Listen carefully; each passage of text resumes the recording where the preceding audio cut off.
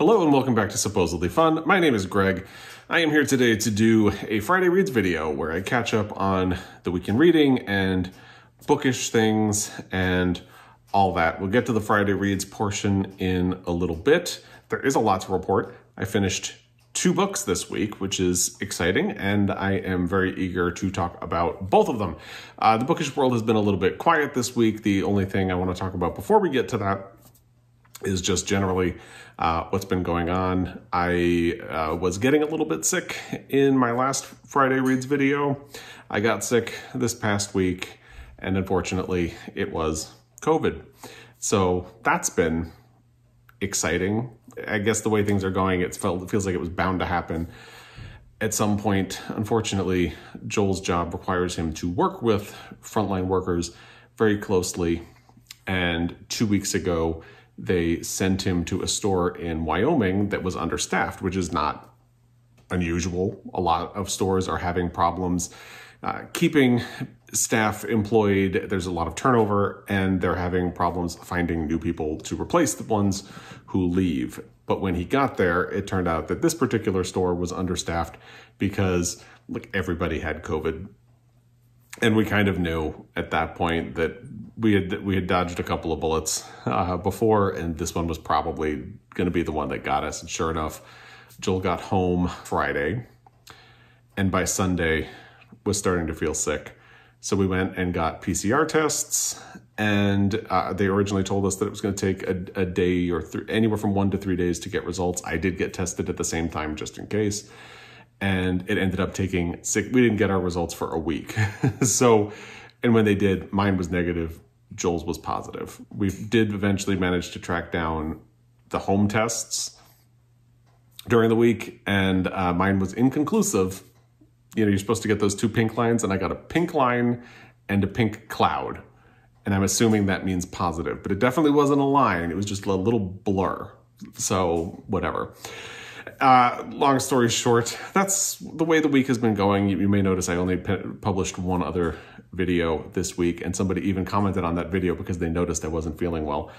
And I that actually is the one day this week I felt well enough to film a video and I fully admit it was not my best work. I don't know if this is going to be my best work. I've been like losing my voice all day. So I've been mainlining tea with a lot of honey all day long and it's still coming in and out. So we'll see how this goes. I am a coffee drinker, by the way, and I've had a lot of tea with honey this week. The real thing I want to talk about with this is just that, you know, it's been a miserable week. I felt really sick, not to the point of like hospitalization, but I think the, the only point with that is that I am someone who is not in an age bracket where COVID is supposed to be like a heavy concern. I have no chronic health conditions other than migraines or anything like that. So, on a technical level, I'm supposed to be low risk for COVID. And I had a miserable, miserable week. I want to yell at anybody who has ever said something like it is just like the flu. I would take the flu 10 times over what happened this past week and the way I felt this past week. A lot of people have been getting COVID lately. People who are fully vaccinated, fully boosted. I'm fully vaccinated and boosted. And a lot of people who are in that same situation and who have managed to avoid COVID so far have been getting it. And I've heard a lot of them say that they had really mild cases. Mine didn't feel, if mine was mild, and if this is how it feels after being fully vaccinated and boosted, I would hate to experience what the real thing would have been like. So I guess the point for that is be careful out there. Wear a mask. If you can stay home, stay home. Because it's spreading really fast. And if you live in a state like I do, where hospitals were already overwhelmed in December, and then Omicron came along, and they, you know, they were just starting to get better, and then Omicron came along. Be careful about that as well, because our PCR tests, like I said, took a week to get back to us. My test ended up becoming negative because it was too early in the curve for me to get a positive result. And Joel's did test positive, but nobody reached out to him. Nobody called him. Nobody tried, nobody at any point tried to reach out with guidance on what to do. I actually got a phone call off of my negative test before his results were available. And I tried to explain the situation to the person, and they basically said, "Oh yeah, you probably have COVID." Well, thanks. Well, and tried to hang up, and I had to try to ask for guidance. And you know, not that uh, we kind of know the guidance. And the person basically just repeated the CDC rules: five days, uh, and then you can go out with masks as long as your symptoms have gone away. By the way, my sim- Joel's symptoms were not gone after five days. My symptoms were not gone after five days. I'm going to be ten days after symptoms first appeared on Sunday, and my symptoms are still not gone. so maybe they'll be gone by Sunday, fingers crossed. But, you know, the point with that just being at no point during the week was anybody checking in on us from like an official standpoint did anybody give us guidance or tell us what we should do what should, we should look out for and I at no point needed hospitalization or anything like that, but I felt miserable all week. And it is scary to know that if something were to go wrong, you've basically been left on your own. And I don't fault the healthcare providers. I know they're overwhelmed and overworked and understaffed and all of that. I guess the point for anyone out there is be careful because it's not good to know that if you were in a situation where you did need help, you might not be able to get it. That's scary. It's a scary feeling. So that's been the week, basically. Thankfully, Joel was really only sick for two days. And then he hasn't uh, been 100% since then, but he started to get better and he was uh, feeling mostly better by the time I started to get sick. Uh, unfortunately, he has had to take care of me and the two dogs all week. So big kudos to Joel. He's had a really crazy week. And uh, that's just, that's what our week has been. I'm going to take a sip of tea. Bear with me a second. And you know, it's also one of those things you really can't predict how your body is going to react to something. I've heard people say that they had really mild cases. I know Brian at Bookish thankfully had mild cases, and his wife had a mild case uh, recently. That's not what happened to me. And again, I'm not someone who is supposed to be considered high risk for COVID. So just, again, be careful out there. You don't want to have to go through what I went through. And again, what I went through could have been so much worse. So just be careful out there. It's gotten scary again. Hopefully, this means we'll be, uh, I don't know what the immunity is once you've had it, is it 90 days, something like that? But uh, hopefully that means we'll be okay at least for 90 days, and hopefully there won't be any other variants coming out. It's just, it's a mess out there. And that's all I will say about that. I am starting to feel a little bit better other than my voice coming and going. So we probably are going to take the Christmas tree down this week. We did not take it down last week. I didn't want to say this in last week's Friday Reads video, but I was I was starting to feel sick on that day and I kind of anticipated that I wasn't going to feel well enough to take the tree down and that is exactly what happened. So hopefully we will feel well enough to do it today, but it was nice having it this week because I spent a lot of time napping on this couch with a puppy at my feet and staring at the tree, which was a nice way to make myself happy. So we're going to take it easy this weekend. Like I said, I'm not going to be 10 days since my first symptoms until Sunday, and I'm probably not going to feel comfortable getting out of the house for another couple of days after that. But I did manage to get a lot of reading done, not on audio. I've been listening to the love songs of W.E.B. Du Bois, and I didn't make any progress in it this week. That's not a comment on the quality of the book. I was enjoying the book. It's just that I really tore through the physical book that I was reading, or that ebook that I was reading, eGalley that I was reading, and the physical book that I followed that up with. And now I'm going to be looking to get back to the love songs of W.E.B. Du Bois.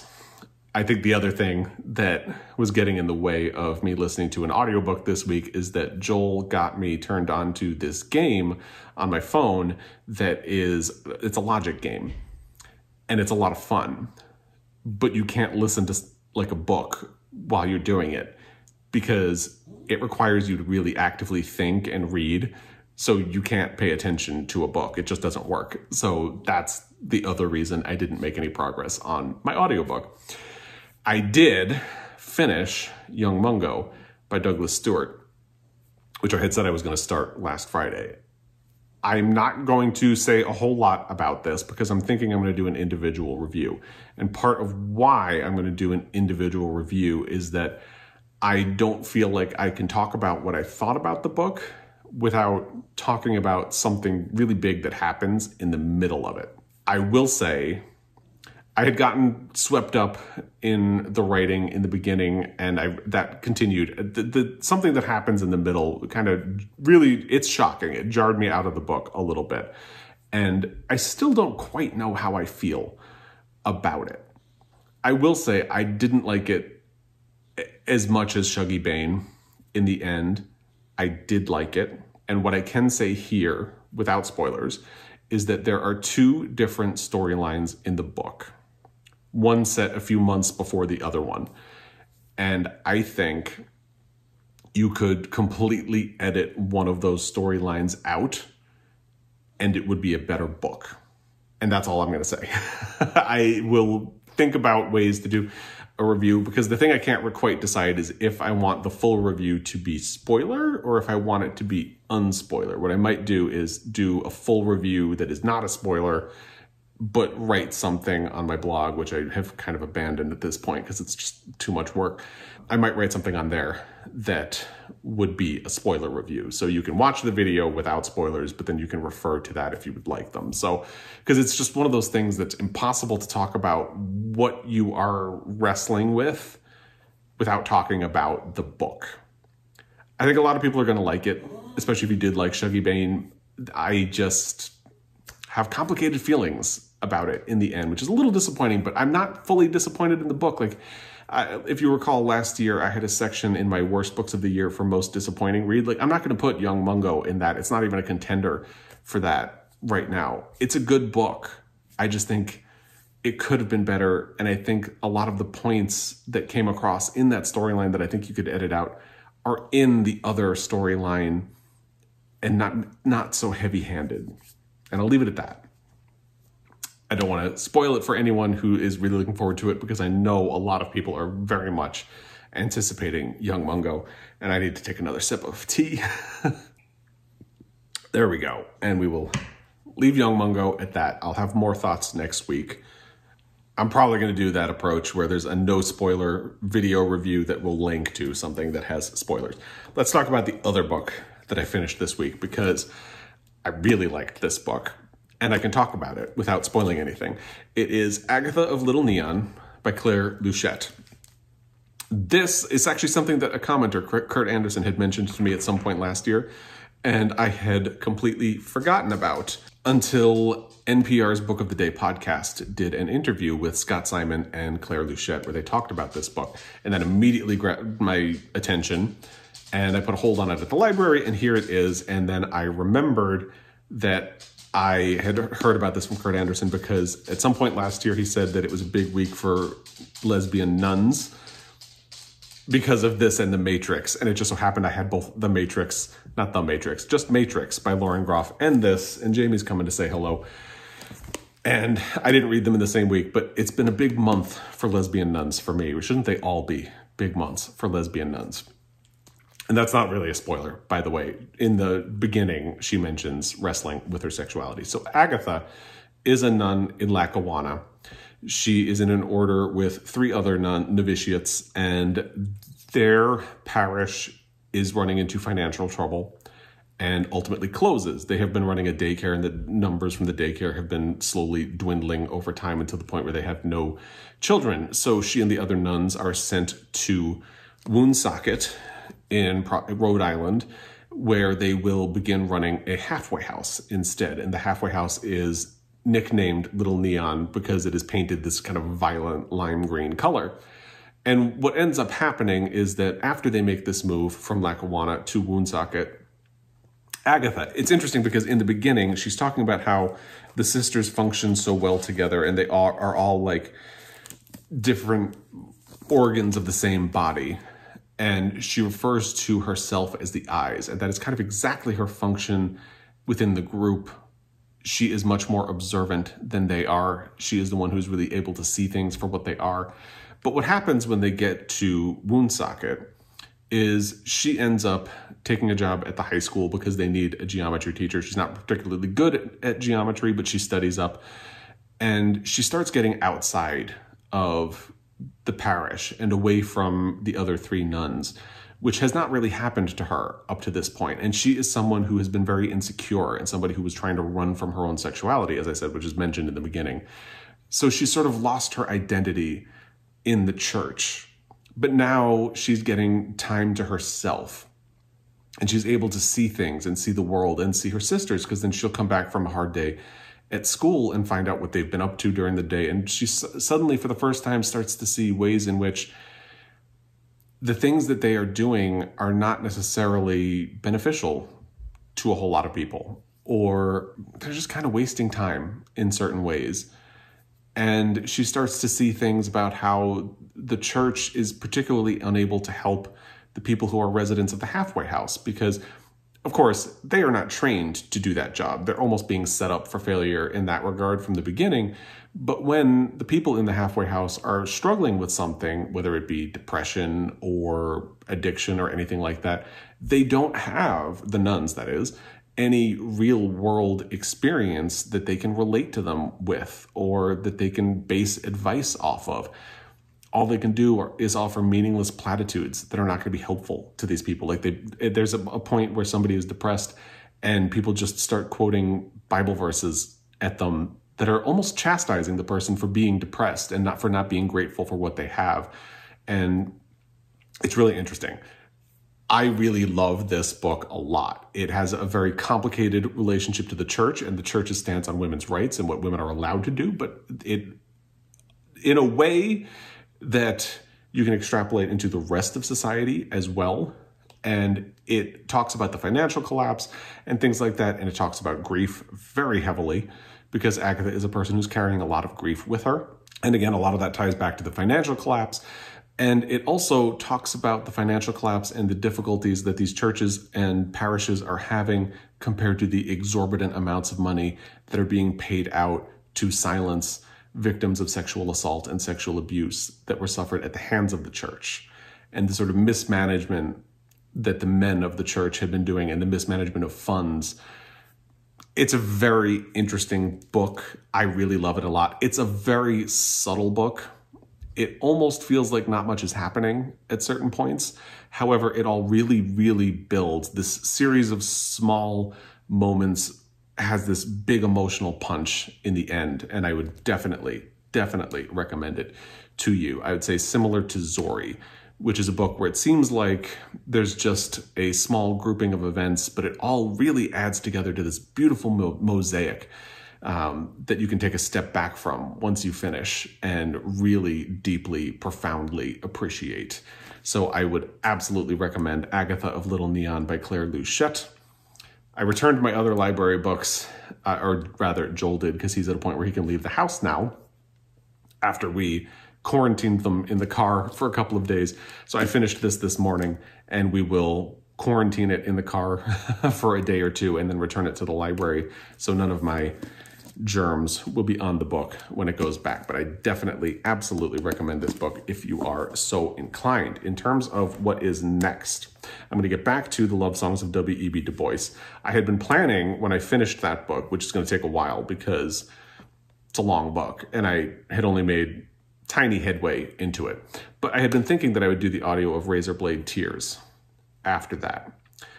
I'm now pivoting because someone recommended a book of short stories that is written by a trans woman called Dreams of a Woman.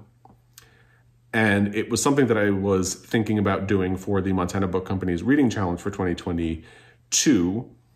And I actually managed to get an audio copy of the book on NetGalley. So once I finish the Love Songs of W.E.B. Du Bois, which again is going to be a while, pieces, or sorry, Dreams of a Woman is probably the audio that I will be doing next. So that's what's on the horizon for audio. My plans, now that I've finished Agatha of Little Neon, are to dive back into NetGalley, and I'm going to pick up The Boy with a Bird in His Chest by Emme Lund, which was one of my most anticipated reads of 2022. I will put a link to that video in the description box down below if you have not seen it already. I'm really excited for that one.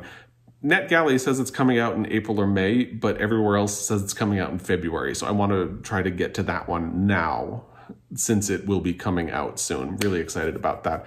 And I am going to try to make progress on it this week because starting in February, I have a read of Beloved planned, written by Toni Morrison, and I am really looking forward to that, which also means I really need to get over my cold and finish that Gone with the Wind video because Beloved will be the next book for my Pulitzer Prize project. And it is also going to be for the Montana Book Company's reading challenge for 2022 because there is a prompt for a classic piece of literature written by a black author. And Beloved is going to be that for me. So those are my reading plans. That's what's been going on. It's what I've read. If you have thoughts about any of this, I would love to hear it in the comment section down below. I'd love to hear what you've been up to, what you've been reading and loving. If you have thoughts about, I have not heard much about Agatha of Little Neon other than Kurt Anderson. So if you've read this and have thoughts, I would love to hear in the comment section down below. Let me know if you've read Young Mungo. I'd love I'd be very interested in what you have to say about it. Let me know. Not spoilers in the comment section, but reach out somehow and uh, just let me know. I would be very curious. And as always, I really appreciate your time. I'm going to get back to my tea. And until next time, happy reading.